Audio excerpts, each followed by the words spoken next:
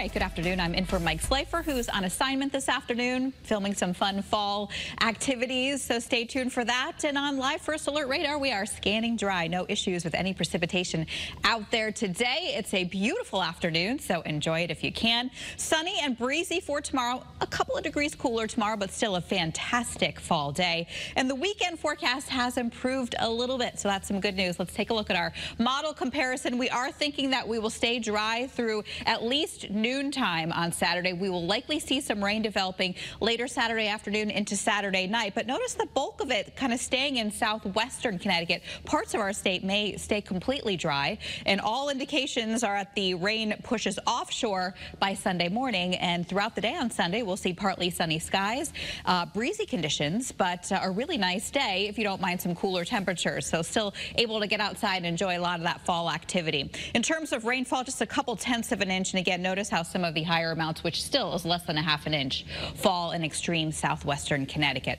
So taking a look here at First Alert Futurecast as we go through time here through the day today. Looking good, nice and clear. A few clouds moving through during tonight and the overnight and as that front kind of passes through the area, the breeze will kick up tomorrow and will also um, be a few degrees cooler, as I mentioned, compared to today.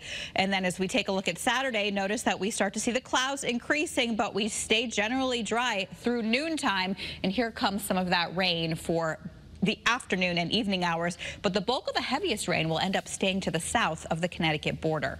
So that is why we're not forecasting a washout. And again, the breeze will kick up. So when you wake up tomorrow morning, notice we'll have wind gusts near 25 miles per hour, but tends to uh, die off a little bit as we head towards the late afternoon and the evening hours. So breezy for the first half of tomorrow.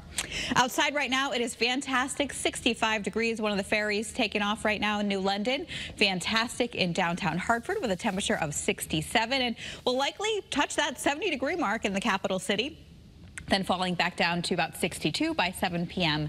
tonight. So you'll probably need a jacket if you're heading out for any later outdoor evening plans. So forecast lows for tonight dropping down into the 40s, mainly clear skies. And as we take a look at the first alert seven day, tomorrow again, lots of sunshine, breezy with a temperature of 66. And here's that weekend forecast. Cloudy skies on Saturday, some light rain developing in the afternoon, lasting through the evening hours, especially in southwestern Connecticut. And then everybody dries out for Sunday. Sunday, bring back some sunshine, breezy and cool with a high of 59. Monday, Tuesday, and Wednesday are generally fair days. There's the slight chance that Monday or Tuesday may feature a shower with temperatures in the lower 60s. Okay.